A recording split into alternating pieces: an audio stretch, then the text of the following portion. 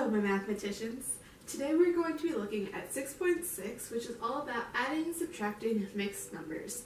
And you can find it on pages 383 and 384 in your book.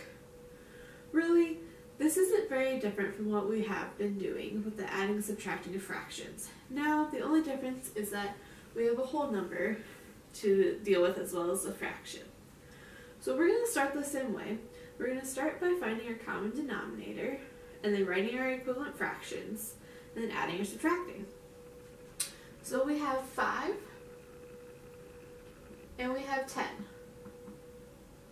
So our multiples of 5 are 5, 10, 15, 20. And our multiples of 10 are going to be 10, 20, 30, 40 which means our common denominator is 10. So we're going to rewrite these so that we can make equivalent fractions. 1 and 4 fifths equals 1 and something over 10. We're adding. And 2 and 1 tenth equals 2 and something over 10. Well, this one, because the 10 stays the same, the 1's going to stay the same.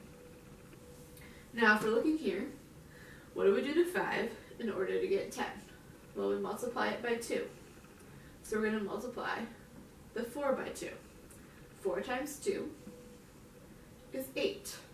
Now, we have to add 8 tenths plus 9 tenths, or 8 tenths plus 1 tenth equals 9 tenths. And 1 plus 2 equals 3. So we get 3 9 tenths as our answer. So it's the same step. Find a common denominator, write your equivalent fractions, then add. This is already simplified, so we don't have to simplify anything. Let's kind of let's look at the subtraction problem. So we have 4, 5, 6, minus 2 and 3 fourths. Again, we need to find our common denominator. So we have 6, and we have 4.